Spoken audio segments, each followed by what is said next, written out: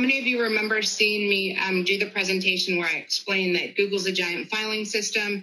Uh, you know, in Bruce Almighty, I show the drawer open up and there's thousands of pages inside of there. And however many pages you have inside that drawer is the number of opportunities you have to get found by consumers searching for in a crisis mode or in a proactive research mode, your services. Do you guys remember seeing that?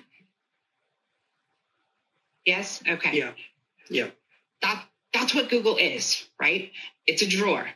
It's just like a filing system. That thing open up, there's a million pages, 10, 10 million pages, 100 million pages, billion pages, trillion pages, depending on the search. So when you go to Google and you do that search and you're looking for something, boom, big drawer opens up.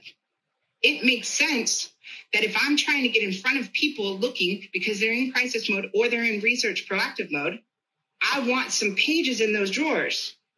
And then I want my pages to be in the front of the drawer. Would that make sense as a business owner?